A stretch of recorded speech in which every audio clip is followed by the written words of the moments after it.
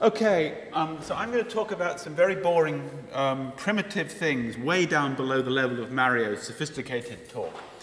Basically, how do you measure how bright things are in astronomical data, which may seem like a really straightforward and simple thing. And for those of you who don't use um, PowerPoint, you'll be glad to know this particular red is 256.31.0 in RGB. Okay, um, so this is where we may need to have Joe turn the lights down a little bit further. So somebody asked about, about precursor simulated data. Um, rather than that, I was going to show you some Hyper Suprime-Cam data. HSC is a 1.8 square degree imager on the Subaru telescope. Um, the data I'm showing you corresponds to 280 and 500 visits with the LSST. So it looks like that. Yes, we need the lights down a bit more. Joe, have we lost you? Yeah. Can we take the lights down the rest of the way? So, rather than generating precursor data, fake data, I'm going to show you some real data. I'm going to zoom in in just a moment and give you some idea of how we're going to be processing this. Here we go.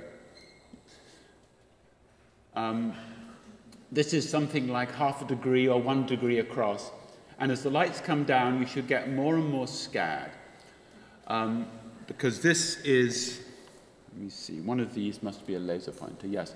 These things are bright stars. Everything you can see at the moment are stars. These are things like galaxies. Um, and as we zoom in, forget about things like this. This is a satellite that's not been taken out for reasons that I could discuss. This is a GRI composite of data in Cosmos.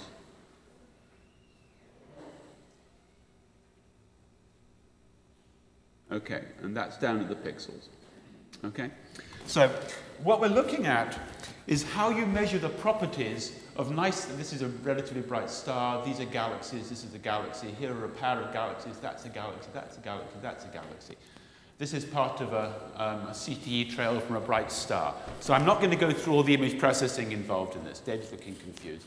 You can, I'm sorry about the display. These are actually the pixels, is the speckle noise you're seeing in the background. So what I was going to talk about is how we actually extract the numbers that Mario puts in his databases so we can all do science. So, first of all, the background of this picture is black. But that's only because I've subtracted a pedestal from each image. So, question number one. Where does the background light come from? So I'll give you a couple of minutes to think about that, and then you can tell me the answers. So talk amongst yourselves and think of places that the background light that actually makes the sky not be black when you look up with a big telescope, would be kind of coloured, uh, comes from. I'll give you a couple of minutes.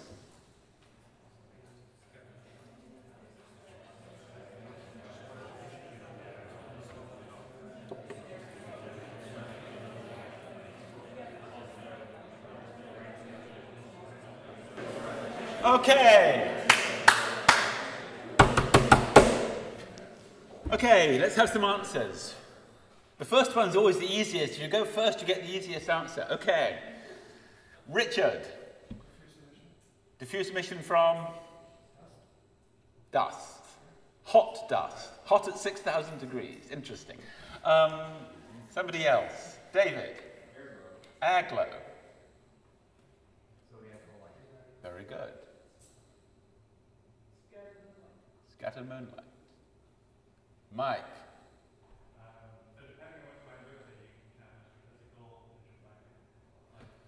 Uh, physical intergalactic light. Okay, the things I thought of, which covered most of this, night sky emission, that's the airglow, zodiacal light Gegenschein, somebody said that, starlight scattering the atmosphere, I think that's what you meant by dust.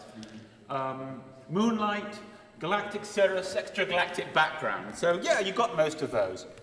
The other things I thought of were night sky emission from sodium and, and mercury, that's from um, street lights, scattered and ghost light from the telescope, dark current in the CCDs, and in the case of the LSST camera, glow from the ion pumps, which theoretically can get into the detectors, I'm told. Okay, great. Here's the spectrum of the night sky. This is what it ought to look like. Here are the oxygen lines, here are the OH lines, This is what it typically looks like if you go to Oxford or somewhere like that, where the sodium lines are totally dominant. Great. So, the background level continued. I'm going to ignore the spatial structure in the background. Really, it's brighter over here and fainter over here, and you get junk coming off the telescope and all sorts of bad things like that. So, first thing I can do is I can mask out the objects. Straightforward. So, here's question number two. What measurement on those unmasked pixels should I use to define the sky level? And I'll give you a minute or a bit less than a minute to think about that question. Go!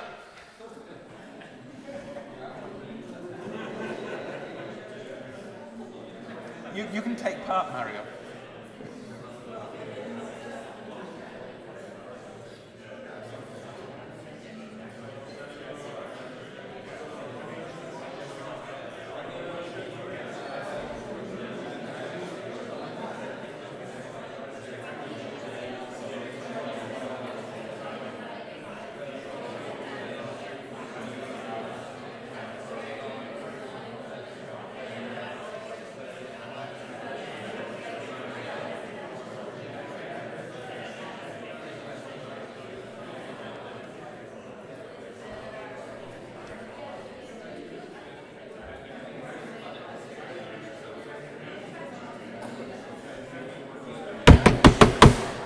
Okay. Let's have some answers. We should calculate the median. Median. Any, any alternatives? Mode. mode. Somebody likes the mode. Clipped. Clipped mean. Okay. Popular answers, and I think I heard most of these, are the mean, the mode, the median, or a clipped mean. So here's a question for you. Does the central limit theorem guarantee that the median goes to the mean in the large n limit, the large number of photons limit? Yes? No?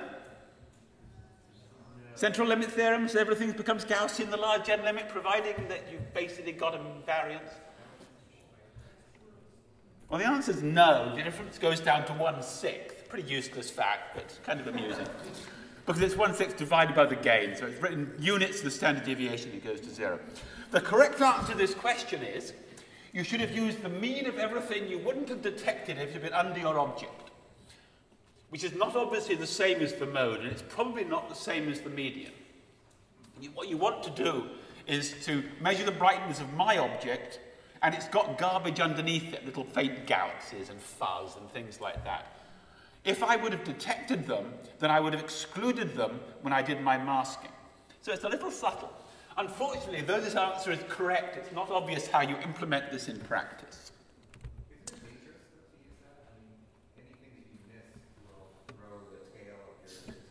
That's why it says a clipped mean is safer, though. Yeah. So a clipped mean is probably the right answer. And if I were a real statistician, I'd be saying, but clipped means are the wrong thing to do. I should have a model of my outliers. And that's true in theory, but I don't believe it in practice was why, what is the median? Why do you believe that the median is the number you want? What's magic about the median? It's the middle value. But what I'm going to do is I'm going to take the background level, I'm going to multiply by a number of pixels. So I want to know, I really do want to know an average.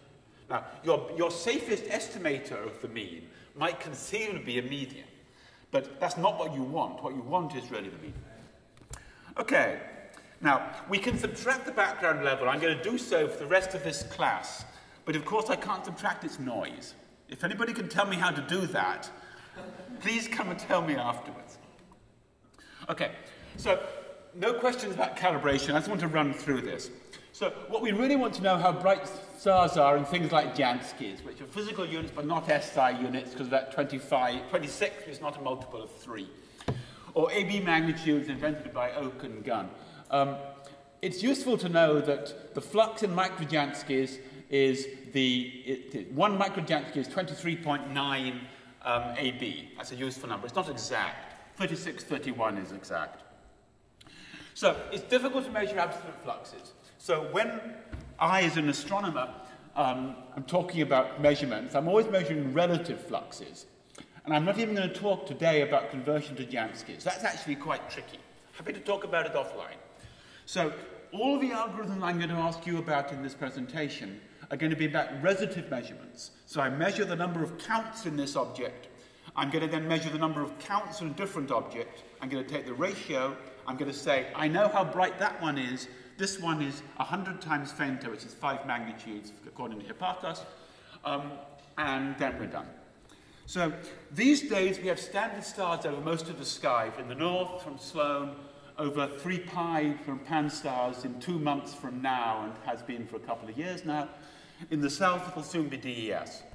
Um, it seems likely we can use Gaia, which gives, gives us absolute photometry down to 20th across the whole sky above the atmosphere. It's going to be great. So a lot of the old days of, of, astronomy were taking pictures of standard stars and tracking them across the sky and then extrapolating those to the fields we're actually in. Uh, I think those days are over. Um, certainly wherever we have Sloan photometry, it's good to about 1% or Pan-STARRS, and very soon DES. You always have standards in the field. It's great. That's enough for calibration. So, a few definitions. I'm going to define the PSF. I'm going to call the PSF phi because I always do. I'm going to normalize it such its integral is 1. I've written this as a sum, not an integral. I'm going to be sloppy about sums and integrals. They're basically the same thing. You know, Cauchy may have disagreed, but he was French. Um, I'm going to measure the amplitude and therefore the flux of a star as A, and that's measured in electrons. I'm going to take the noise in the background of the Hummus galaxies, the same everywhere, and Gaussian. So it has a constant standard deviation of sigma. Those are just definitions, no questions about that. I'm going to make you agree with me that we're going to ignore the uncertainties in the background level, so don't worry about that for the rest of this talk. And I'll remind you that because I'm measuring A in electrons, each of which corresponds to a photon, the standard deviation of A is just its square root. So that's just definitions. That's, that's Poisson noise. Okay, so let's start out our exploration of the LSST processing by thinking about bright stars. They're easier.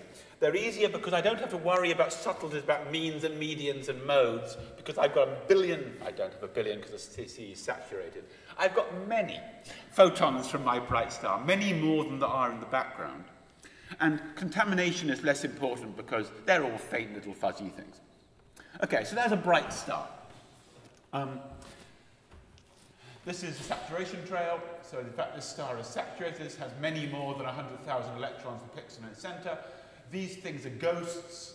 Um, you can see junk coming off the mirror. These are imperfections in the mirror. This is HSC data. And there are lots of beautiful things behind it. And this is another GRI composite, so this color sort of corresponds relative to about a half for an elliptical bulge. So let's go to a fainter star that's still pretty bright but not saturated. Well, sorry, this one is saturated. If you look at this, it's got a sort of purplish core and a halo around the outside. And the reason for that is, again, the electronics have saturated.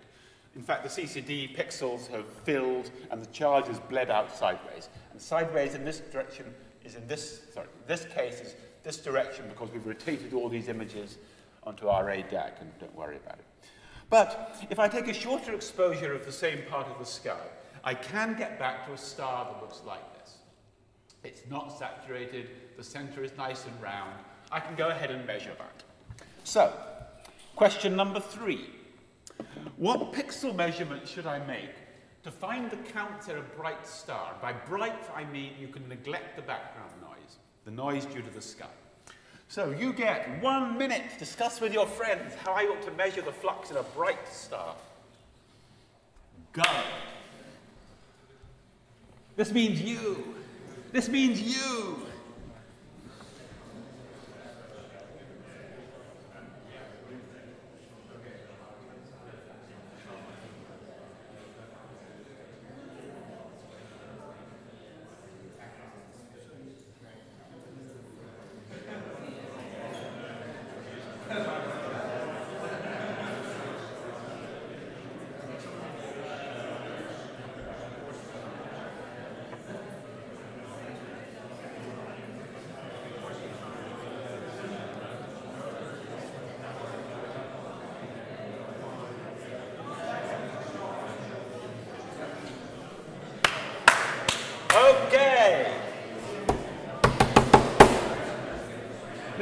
Gentlemen, professors, graduate students, lend me your ears. Um, let's have some answers. We haven't any from over here.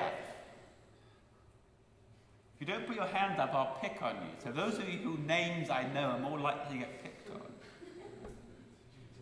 There's an incentive to make people sitting next to you put their hands up. Dominique!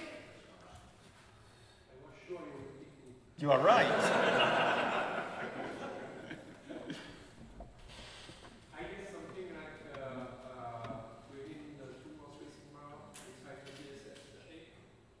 two or three sigma, sort of width sigma. You would measure all the flux within a, a circle. Okay? That sounds like a reasonable thing to do. You would choose the largest circular aperture, radius r, centered on the star, and add up all the pixel values. Well, you could have answered that. That was the easy question again. You should have put your hands up for this one. Okay. Now, if you're worried about the spatial structure in the background, which I told you not to worry about, but people like Mike are worrying about it anyway, um, I could choose a larger annulus with the same center and estimate the level of the sky there, because then I've made a local measurement of it. Okay? So that's a clever thing to do. Question number four. Does it matter if I make that background annulus too small? So I'm picking up some of the starlight. And you have, ladies and gentlemen, about one minute to argue with yourselves as to whether it does matter or doesn't matter if I make that annulus too small. Make it smaller in radius. In, in radius. Yeah. Good question, David.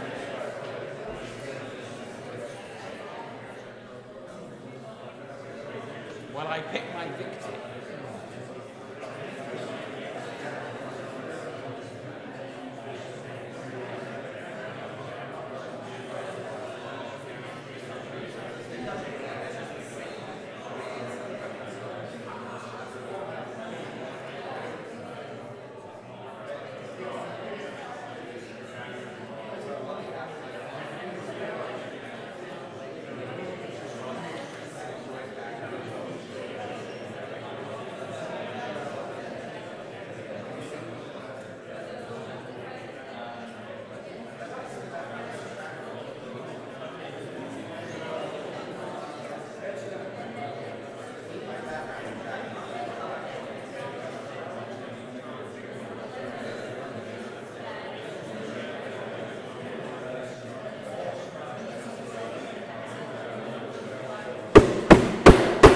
Okay. Patricia, what do you think? But before I ask you that question, actually, David Kirkby asked, yes, David Kirkby asked me a very good question, which was, did I mean that the radius of the aperture was small or the area of the aperture was small? So I hope you're going to, you can tell me which of those questions you answered. What I meant was the radius, it was too close in. So Patricia. So, because you said that we're talking about relative fluxes, Yes. that as long as we scale that too small radius with the PSF, then we're always having the same fractional error. Why would I scale it with the PSF? Well, if the PSF is varying across. Okay, yeah. Right, and so we're always making the same fractional error by subtracting the background. Yeah. So the relative fluxes will still be the same. Do people agree with that? Okay. If I use a median or a mode to estimate the background level, the sky level, is that still true? In other words, if it, it, I mean, I, basically, my answer is the same as your answer. It doesn't matter.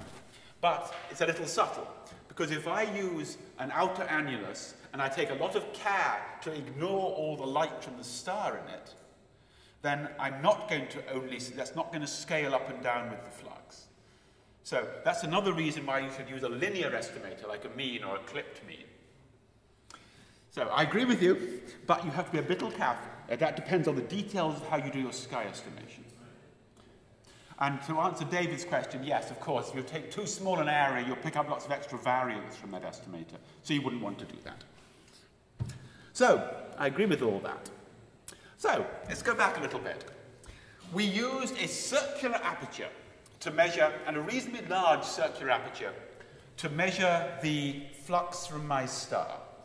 What was the variance of my estimate of the star's flux? No integrals are required.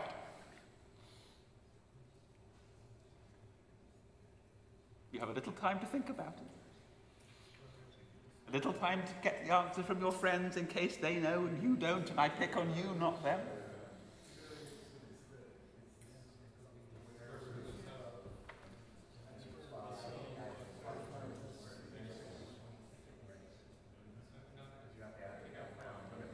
The room is very quiet. Does anybody want to know what I mean by variance? It's the expectation value of x minus x squared. What is A the normalization of phi? Phi is Yes, yeah. And it's all measured in electrons, so there's no gain correction.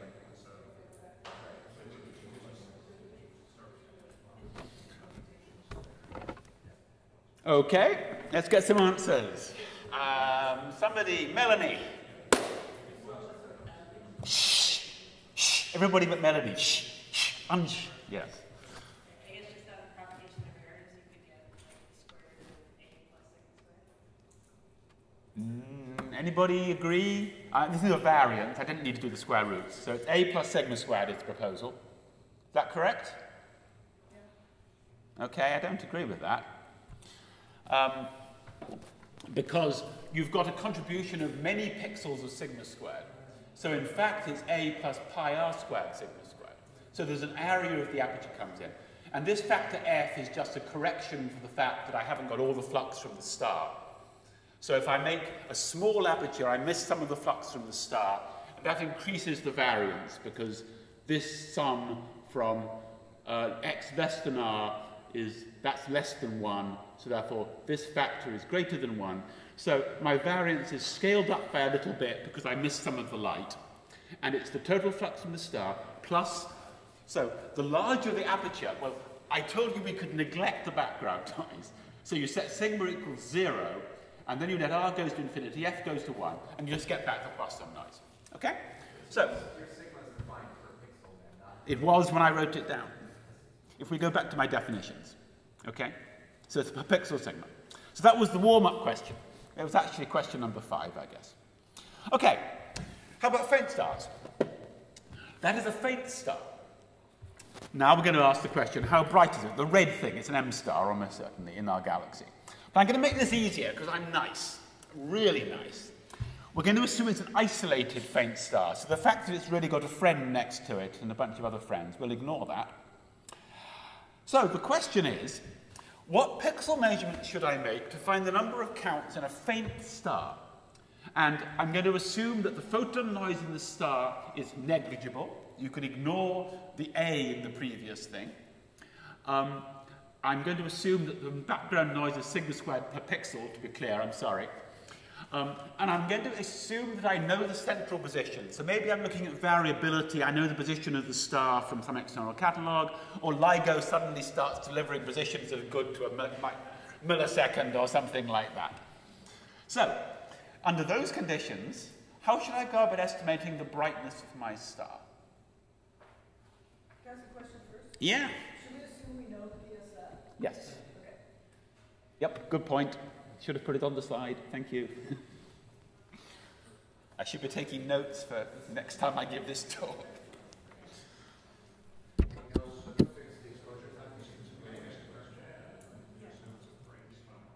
Do I need to know that?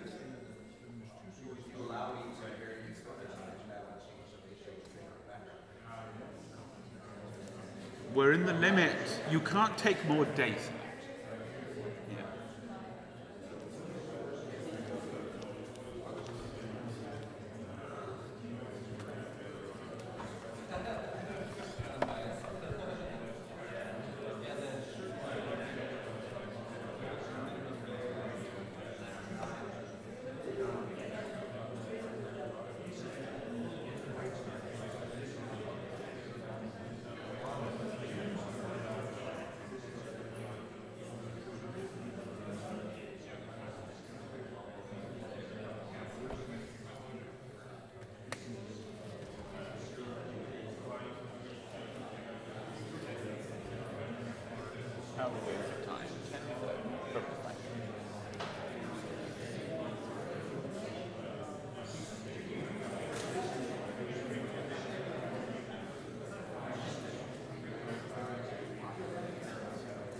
Oh, there's somebody who doesn't dare answer questions.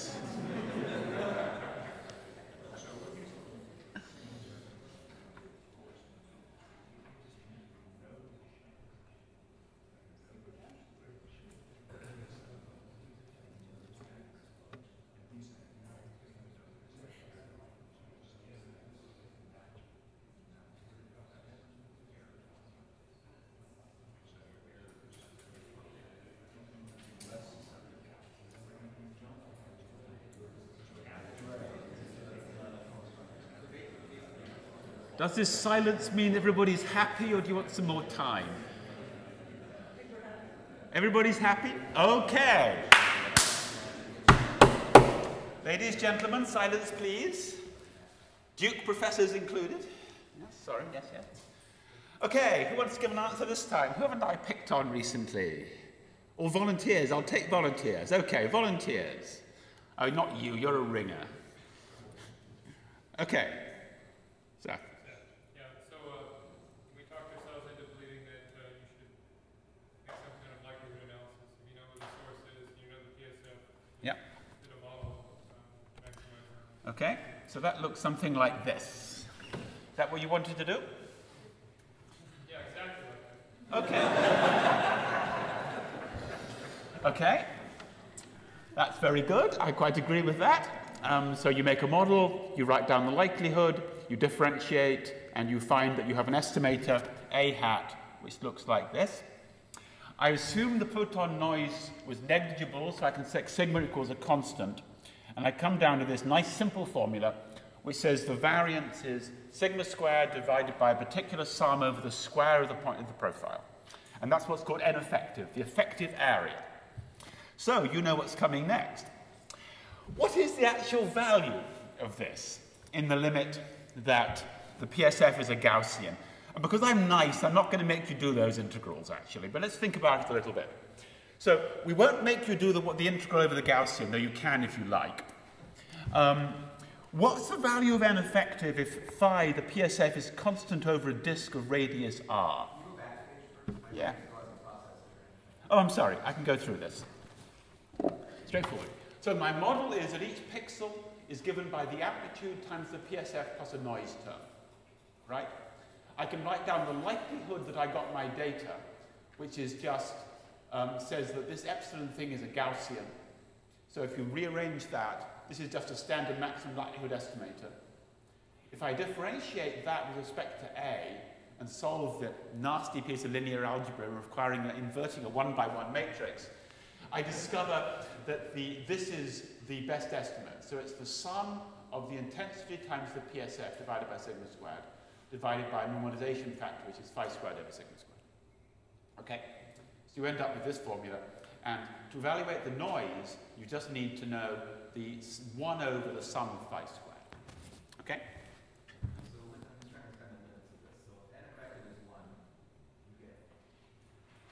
Then you've only, and effective is unlikely to be one. But let's, let, can I postpone that question a moment? And you can answer, in fact, you should think about the answer to this. Uh, there we go. No, we don't. This thing's dying. There we go. What's n effective if phi is constant over a disk of radius r? R. Okay, we'll take the answers. Pi r squared, yeah. So if you're dealing with a circular aperture, the n effective is the area of the aperture. And we get back to the bright limit that we had before. Now, a bonus question, and this one, Mike, we will take the answer from you. All right, we won't. Here are the answers. So for the Gaussian case, n effective is 4 pi alpha squared, but alpha is the, the width parameter of the Gaussian. That's quite useful to remember, actually. It says that the, by using optimal, um, by doing maximum likelihood estimators, you get an area of 4 pi alpha squared. In other words, a, an equivalent radius of 2 alpha. And alpha is probably around a pixel for Nyquist sampled data. Sigma of the Gaussian, yeah. I don't like to call it sigma because I've kept sigma for something else. That's it. Yeah. So that says it's really quite a small aperture. In this, this case that David answered, you get back pi r squared. So it's, it's the effective number of pixels that are contributing noise. And in fact, here's the curve for the bonus answer. you get about 90% of the flux back by choosing a radius of 1.585 um, alpha um, times alpha. And these are various other popular PSF shapes. So you do pretty well by using aperture photometry. You lose 10% even for faint sources. Okay. So Yeah. Using circular apertures or otherwise shaped apertures where I measure all the zero, I assume the weighting is 0, 0, 0, 1, 1, 1, 1, 1, 1, 1, 1, 0. As opposed to using a PSF weight, for example. I didn't actually say this, maybe I'll say this now. Um, this is the, the, the optimal thing. You take the data, you multiply by the model. Now, you can think about that as because this goes is one, well, the normalization isn't one, it's larger in the middle, it's zero outside. You're weighting each photon by the probability that belongs to the object. So that's another way of thinking about maximum likelihood estimators. It's also a Wiener filter, if you like to think about Wiener filters for a white noise background. So there are lots of ways to think about maximum likelihood estimators. Okay, now, I replace sigma i by sigma. Oh, sorry, question. Signal to noise relative to the optimal signal to noise, which is the, the, the model fit. Radius of the aperture in units again of um, alpha, I think. Units of alpha. Yeah, and I may have got the normalization wrong with the Kolmogorov and Moffat thing. I just pulled this out of some notes I have. For my book, which I haven't finished yet, actually, is where it came from. So it's about 1.5 times alpha, and the full width half max is 2 root 2 log 2 alpha for a Gaussian, which is about 2.3. Okay? Oh, there, I gave, you the, gave away the answer. it's all your fault, Craig. Okay. Um, so I replace sigma i by sigma, arguing it is essentially the same for faint objects. Was that a good idea? Yes. Yes! okay, who answered it? Okay, you did, right? Okay. We got the answer, but now, could you, would you care to explain your answer, young Chris? Because fortunately, I only went forward one. Okay, Chris? You have to let me see the question before I can answer. Should I have kept the per pixel variance, the 1 over sigma i squared? But you've already answered it, so I don't give, have to give you time to think, do I? That variance is small compared to the variance of the actual object that you're measuring, so it's okay to make that proposition. Yeah, okay, so it's, it's, it's okay, is it? But I, I don't have to do it. I could decide not to do it. So it's, it's okay to sacrifice some signal to noise because I'm throwing away being an optimal estimator. That's your answer, is it, Chris? And you're sticking by your answer, Chris? okay, it's, a slight, it's actually a bit subtler than that. Um, it's because, um, and I think, I think I tell you what the factor is. It's four thirds um, for a Gaussian. I've thrown away 30% of the signal to noise. But I'm trading off systematic noise, systematic errors for bias here. Because if my model of the point spread function isn't quite right, and I do a per pixel weighting, now, the noise in the center of the object is larger than the noise in the outside of the object, because it's got a certain amount of photon noise. So that means that the discrepancy between the model and the data is less important for bright objects. So I'll get a bias. So you're right, the, re the reason you do it is it doesn't matter for faint objects. It biases bright objects. And for bright objects, you've got other problems anyway. Mario. So the 33% is that statement for bright objects? Yes, in the limit of bright objects for a Gaussian PSF, if you do a different integral, it's, it scales with the, with the bright? it scales over between no loss at the faint end, where there's no noise coming from the object. In fact, it's, you get four thirds of the photon noise from the object back instead of one. Okay. That was the easy part. That was the warm-up part. If we hadn't been delayed by Mario keeping the, the microphone longer than he should, we'd have been here in time. Okay, so the object image where he is trying to defend himself is defined once we know its flux and its centroid, assuming we know the PSF. Galaxies are more complicated. So here's a bunch of galaxies. I can zoom in on those. So even nice, well-behaved redshift 0.3 ellipticals like these, they're more complicated. And the reasons are they have a variety of radial profiles, they're not circular, they have complicated morphology with spiral arms, they have color gradients, they have a large dynamic range, there's a lot of flux that matters in the outer parts of the galaxy where they're pretty faint, and they have this horrible tendency to cluster. Now, some people think you can use that to do cosmology, which I don't believe, but we're not talking about that today.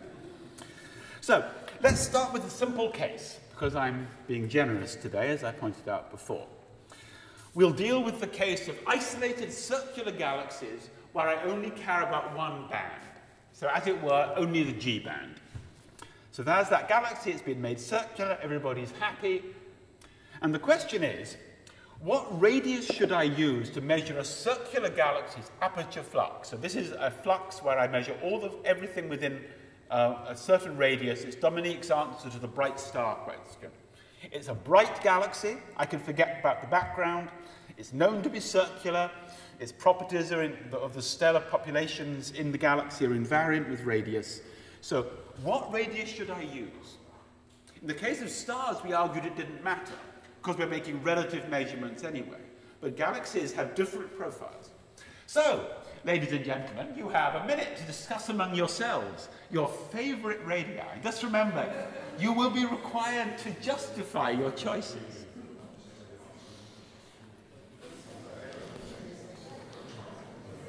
Okay.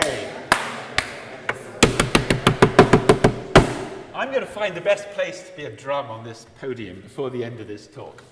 So, who would like to give an answer? Volunteers, please? Because otherwise. Hmm. Ah, Woody. As big as you can. Okay, does everybody like that suggestion? Does anybody like that suggestion? There must be some optimal point where the signal to noise is maximized. And how would you. So it's the ratio of the area of the background times the variance compared the circular photon flux of the radius. So it'd that same equation that you showed us before.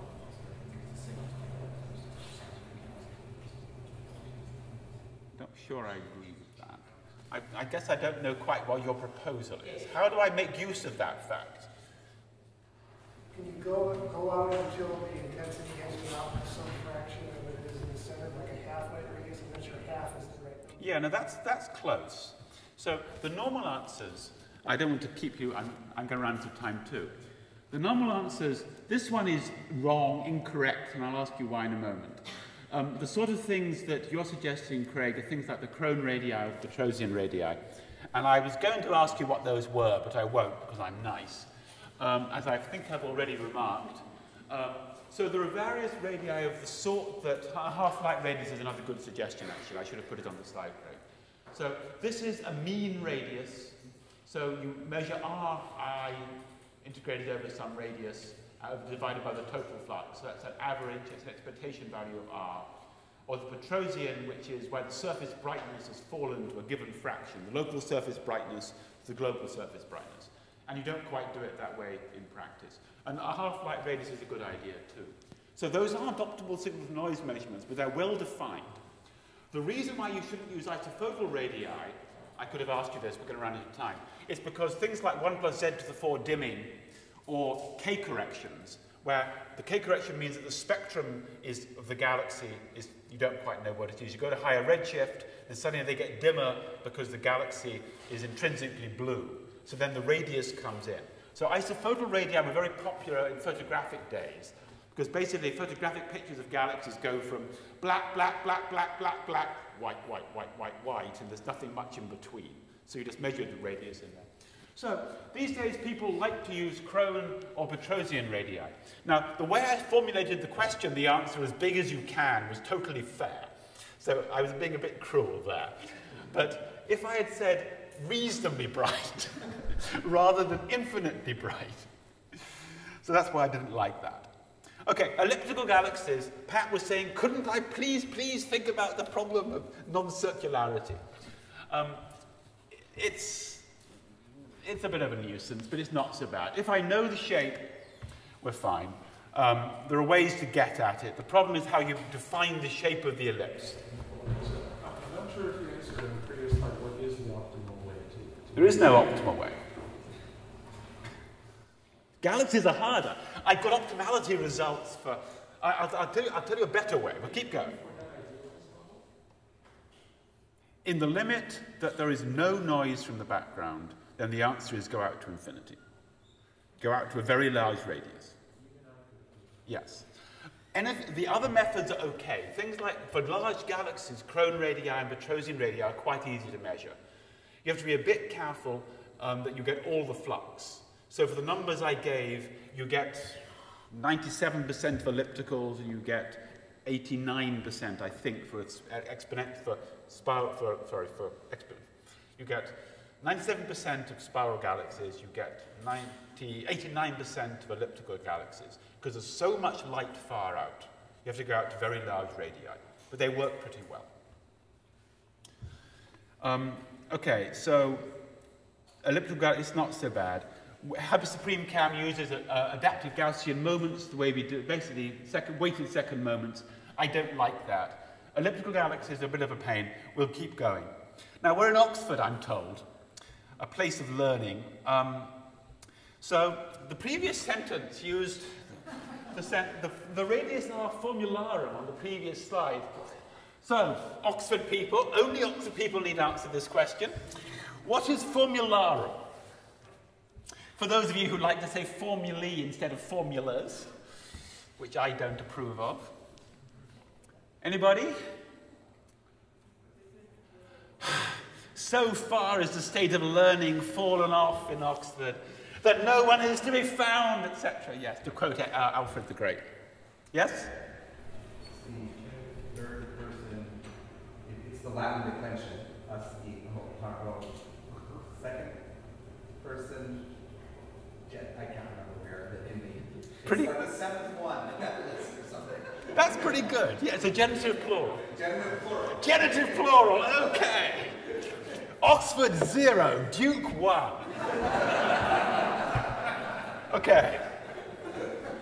What pixel measurement should I make to measure the number of counts in a faint galaxy? So Woody's answer is now definitively wrong. I can stop even trying to defend him. Um, in other words, now if the photon noise of the galaxy is negligible, how shall I measure the number of counts in some band, say the G band, in a faint circular galaxy? You may talk amongst yourselves. You have my permission to discuss the topic.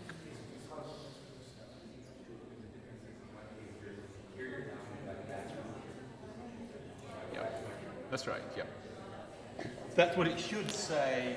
Yeah, the photon noise of the galaxy is noticeable relative to the background. Would anybody from Oxford like to retrieve your honour by answering this question? okay, right. Okay, so you fit, you fit the model to the galaxy to find. Okay, what model would you like to fix? Fit. You fit, uh, like, well, I guess, like in SDSS, you fit uh, the Vaucouleurs plus exponential, something that has to Okay. Okay, one each. Uh, you're Princeton now. You don't get to cheer for Oxford. yeah, nothing of that, Joe. Okay, so yes, you fit a model. And the problem is, what model do you fit? And the classic thing to do, a popular choice is a Sersic profile. And that's uh, e to the minus r of 1 over n. The trouble is, it's got a bunch of free parameters. It's got a bunch of free parameters in it. You have to PSF convolve it, so your model is more complicated. It's I times an amplitude times a Sersic convolved with a PSF plus a noise term. You can write down the likelihood, but the actual um, estimation is tricky. This is now not just a 1D minimization and matrix inversion. And the other problem is, what if your galaxy doesn't look like a Sersic? Now, as, yeah? Could you convolve the image with the PSF? You know, if- if- You mean deconvolve the image? No, I mean, convolve. Then you'd have to do a double convolution of the model. I think I'm right on this one, Mario. you could convolve with one over if you wanted to. but you have minor problems in k-space at large. Yeah. Okay. Um, so, as with the case of galaxy stars, dividing each by its variance leads to biases. But this gets tricky because you're now trying to estimate the flux, which is a linear parameter. That's pretty well defined.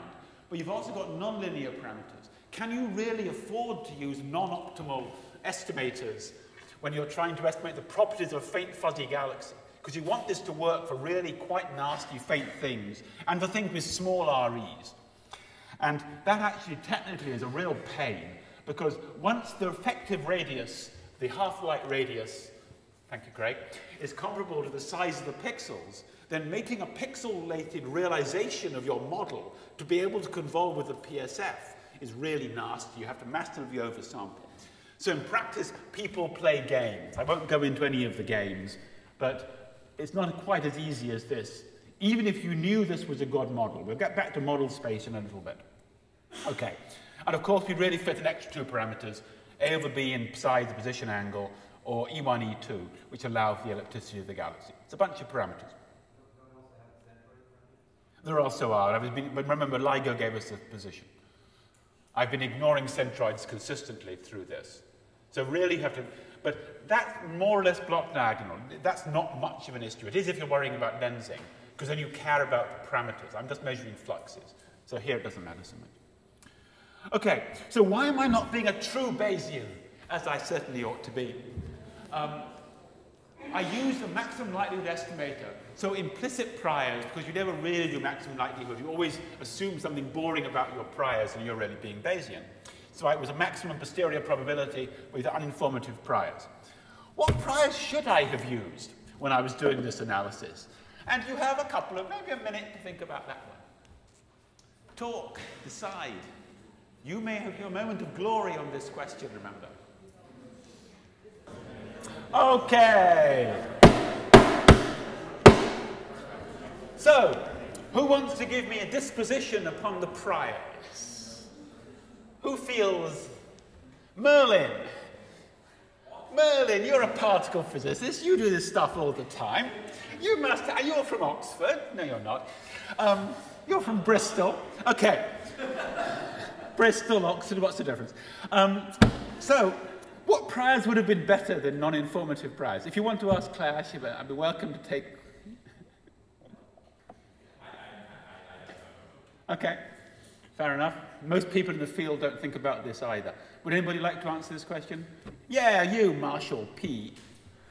So, I like the prior where you say, I don't know what prior is, but I'm going to learn it from all the data I have. Okay. So, something sense, with a sensible functional form and enough free parameters that I can learn from all the objects that I then characterize simultaneously. Okay. But But. I guess that's, that might be too hard to do, at least for DR1. So I think maybe I, I'd be happy with uninformative priors, as long as I knew what they were and you told me what the value of the prior was for each sample you. Okay, somebody disagrees or agrees. But uh, there's, for a given brain insert in color, there's a likelihood of galaxies in a spiral or an elliptical.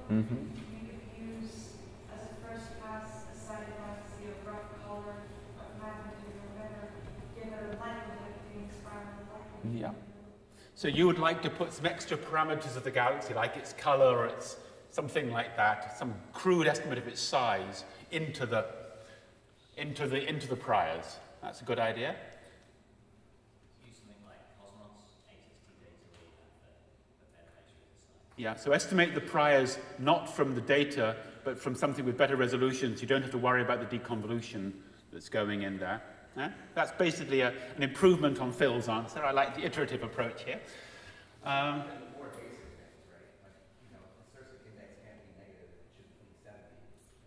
Yeah. So I like some. So I like using, at least I think it's safe to use a prior on n. That's reasonably non-controversial, yeah. Can't be 27, probably not minus 2. Um, a positivity prior on the half-light radius seems reasonably safe. Priors on E1 and E2 are easier than A over B. For the position angle, you can use a non-informative prior. A over B is a pretty badly confirmed thing. Now, of course, priors on the flux get us into problems with faint counts. Well-known problem I can talk about later. Basically, the probability diverges that the infinitely faint things fluctuate up to have a small probability, a small, small likelihood, but large posterior probability. I think I know the answer to that one, but I know written it down. In general, informative priors of the sort that you all liked get us into trouble because they violate the condition that if I make things twice as faint, I measure it as having half its flux. Now, you may argue whether that's a problem, whether that's a feature or a bug, but it's really tricky. In the case of stars, I think it's unambiguous that you want to make the pring linear. If the star is twice as far away, you measure it as being four times fainter because of the inverse square law neglecting dust. Um, so, but in the case of galaxies, the populations do evolve as a function of redshift. So maybe we do have to use informative priors.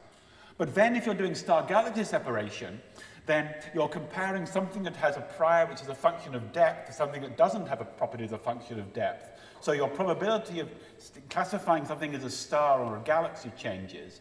And if you're interested in the outer parts of our galaxy, finding RR Lyraes at 500 kiloparsecs, then you care about faint stars, which are the minority population. So it's tricky. Okay, just in the last little bit, sorry. Can, can, you talk about parameterizing the priors so that basically the posterior, the answer you derive is a function of that parameter of the prior? So if somebody cares, um, let's say, imagine a, a slider from zero to one. Yeah. Prior, or not. So that your answer would be so that in our catalog, we would record, so that we would record maybe instead of one column for, for the unfounded Yeah. prior, we would record a function that gives the So that's why, one reason why we're recording multiple values of the likelihood. But you need to put some priors in just to constrain the models. I mean, you have to do something, because otherwise, these models are really fluffy. Many, many, many free parameters. I'm going to add some more because I've run out of time. Um, Wouldn't it be better to report the, the actual likelihood, I mean, frequentist versus Bayesian religion aside, so then later, instead of the, instead of the posterior distribution, so that later if somebody wanted to, they could apply these priors? Well, that's true, and that's why I'm nervous about these informative priors, like this one and this one. But you need to have some sort of prior on, for example, the positivity of the RE. And exactly how you put that in is tricky. If you put it in as a log prior, then you get, very, you get a lot of power, a lot of weight down in very small REs. So do you want to educate that based on your data? So I agree that you should put out something as close to a likelihood as you can. But because you actually have to minimize very, very, I mean, you have to fit models of things that are really noisy, you have to regularize somehow, and you're using priors to regularize. You can So- always divide out whatever prior you put in too. You don't have to start with likelihood samples. You can have interim plus posterior samples and relate to whatever. You can do that. If we put out information, as, as Mario was saying about, then you can back it out, yes. But I think you have to do something. I mean, you, you can't flip, you, you can't have negative axis ratios. Yeah. So I have run out of time. I'll just show you what the other questions we were going to have were. Galaxy colors, taking into account the PSF, yeah? I thought I'd tell. Fine, in that case. In that case. Okay, I thought I was out of time. Good, we're near the end. We're just trying to make things harder and harder. I started out with the easiest case, bright stars. And then we sort of work our way down into what we actually care about for solving, for doing the science. Okay, so what I really want, I might well want to do is to measure the color. People don't care about fluxes very much. If you get the flux of a galaxy wrong by 10%, you get the brightness wrong by 10%, but you don't know the distance to 5%. So it doesn't matter all that much. You have to worry about root n and systematics. But if you want to get the vertebrated redshift or something, or the star formation history of something, then you really do need to know the colors, I think arbitrarily accurately, certainly down at the few percent level. Whether you gain below 5% is a question that I don't know the answer to. People say you don't, but I don't believe them. That's what they said about stellar photometry when Sloan came in, where the state of the art for surveys was 15, 20%. So we will see. So the problem is that seeing is different in every band. This is my nice bright star from earlier, but you will observe that it has a blue wing to it, and a red ring, and then a sort of yellowish core. And that's because the data was taken in GR and I at different times. The point spread function was different at different times because the atmosphere was different. This is not a talk about atmospheres. You want to know about atmospheres, go to the last Dark Energy Summer School in SLAC, or talk to Josh who gave the talk. Okay, the problem is the seeing is different. So how should I va handle variable seeing? Now, this is only a problem if it's a small galaxy. If the galaxy is M31, I can measure its properties without worrying about the seeing very much. So let's ponder the case that the galaxy's size is comparable to the seeing. An arc second, two arc seconds, something like that. So how should I handle variable seeing if I'm trying to uh, measure the fluxes of objects? Who would like to answer this question? I already had the proposal throw away all the data except one sample, which... That's what said. No. Throw away all the data with bad seeing. I see. now, the seeing roughly scaled as lambda to the minus one-fifth. So how am I going to get both G, U-band data and Y-band data in comparable seeing? I throw away all the U-band, do I? Is that the proposal? uh, but anyway, any other suggestions? I mean, it's tricky. You can throw away the very worst seeing, but we can't throw all of it. That doesn't, doesn't really resolve the problem. Who's going to tell me the answer to this one? You can convolve the G-band to the U-band, You can convolve G band to the U band, okay? Or the Y-band to the U-band. Yes, that's a proposal. You already fitted a model of the flux in the previous one, and you have it unconvolved. Yeah. Convolve that model with the other seeds and force photometer on the other bed. Yep, okay. Good suggestion. So we have so far throw away the worst data and hope the problem goes away. We have convolve the bad seeing to be the same as the, so the good seeing to be the same as the bad seeing. And we have make a model that includes the point spread function. So when you do the fitting, you can just put in some factor which weights the bad seeing with less, less weight. You don't have to throw it away.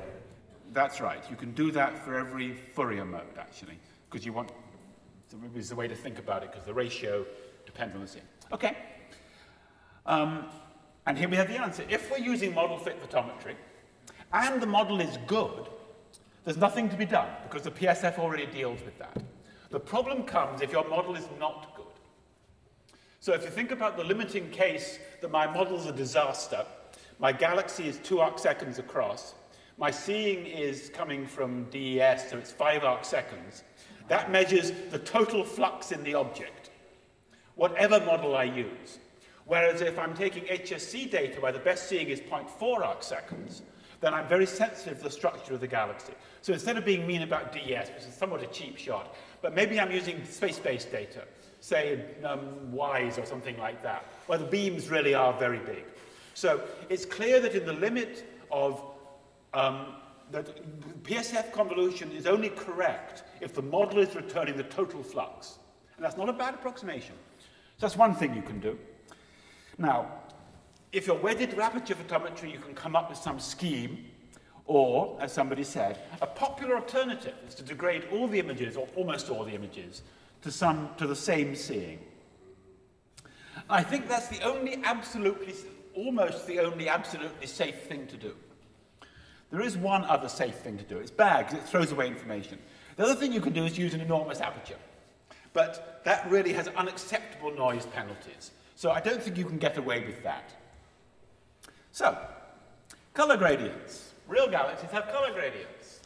That's a nice redshift 0.5 galaxy. It's got a red bulge, and it's got a bluish disk. Problem. So, what do you do about color gradients? How should we handle this? Now, there are three cases. One, do I want to know the total flux of the object? The next is, do I want to know the color of the entire object? Or do I care about the color of some well-defined stellar population? And they're different. They're interestingly different. So the last of those is the case I want to know the redshift. So if I could somehow only measure the color of the bulge, I'd be perfectly happy. I wouldn't get the star formation right, I would have to, I would, I would have to use a template that maps to an ES0 spectrum, elliptical spectrum, which actually would be good because you get better Petter Zs from those. You have to do your probability density, you have to do your P of Z in color, color, color, color, color space differently depending on how, which part of the galaxies I'm measuring. In fact, I could put down a chessboard and only measure the flux in the black pixels, not the white pixels. And I would still get a consistent color because I'm measuring the, the weights in different square kiloparsecs differently, providing the seeing is fixed. So, and this is a note to you, in many cases color gradients are better thought of not as color gradients, but as components. I have a red bulge and a blue disk. Now, if you've got a metallicity gradient in a giant elliptical, it's bluer in the outer parts. That's not a very good model because you need 10 to the 12 um, zones or something in your model. So, if the PSF is the same, and I could have made it the same, some of you answered in the previous question, and I don't need a total color or a total flux. I can use any aperture I like, and that's good. And a, com a common choice, and this is a choice that we made in Sloan, Gunn and I made in Sloan, was to fit a model in one band and use that to extract the flux in all the others. And that has good statistical properties.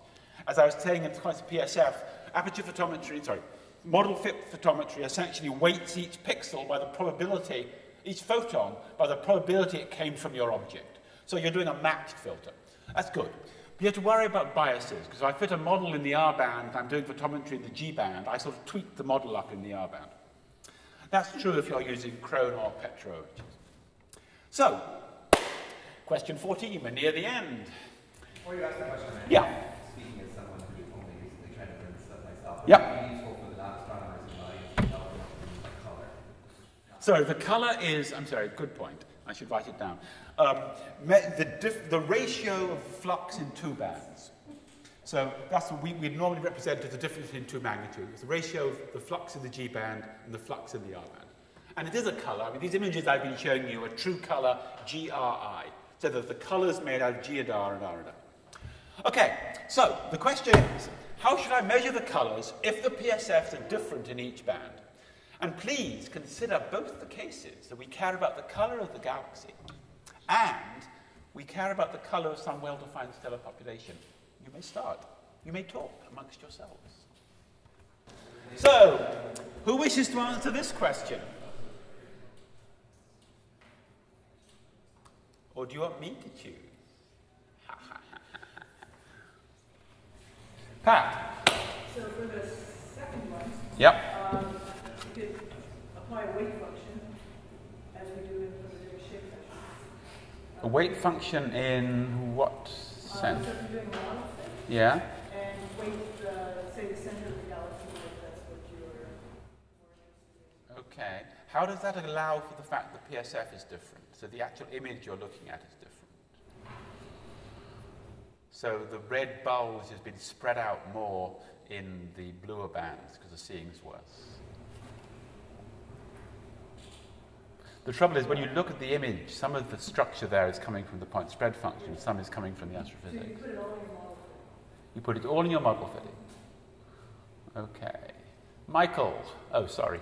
Oh, we'll go with Michael. So we're back to the, the model uh, fits, and then presumably there's going to be some model bias because the models aren't perfect and try to do your best to validate that. Okay. So what sort of model should we be fitting at this point? Do you want to answer that question? We, we, we have, we're doing model fitting. I agree with this. I'm a great believer in model fitting. I'm one of the first people who did a lot of model fitting on billions of, well, hundreds of millions of objects. But there are issues. So what sort of model would you fit? Sersic model? No? Uh, yeah, Sersic model. Okay. So single Sersic, dual Sersic? Dual Sersic. A different Sersic for each population. And we're going to fit each of the double Sersic in each in each in each image. That's a lot of parameters. Even if we free up the centroid, I mean, don't free up the centroid as David said. So I think I basically agree. The trouble is, okay, if we fit a model that's flexible enough to recover the total flux, this is my point before. It has to be the PSF convolution only helps you if you get a good enough model. So then the PSF deals with it. And the sort of models people usually use are something like two component models where you don't free up the, the components. This is why I gave you a hint about don't think about color gradients as being gradients in color. Think about them as being multiple components with well-defined colors. So if I've got two well-defined components, I just want to know that they've got different color, each has a different color, then I can do that by fitting the parameters. The things people like to do are bulge and disc or the lens fit, which was actually done for shear, freed up. I can't remember what it freed up now. It freed up something slightly different, but it freed up a sort of another parameter that's kind of similar to that. So I think that works. The other thing we can do is degrade the seeing to a constant and fall back upon the nice, easy life we had until I introduced variable seeing. Okay, so what should you do? This is the last question if the galaxies are not isolated. so, this is what real galaxies look like. Um, and they look like this, and they look like this, and this, and this, and this, and this, and this, and this, and this.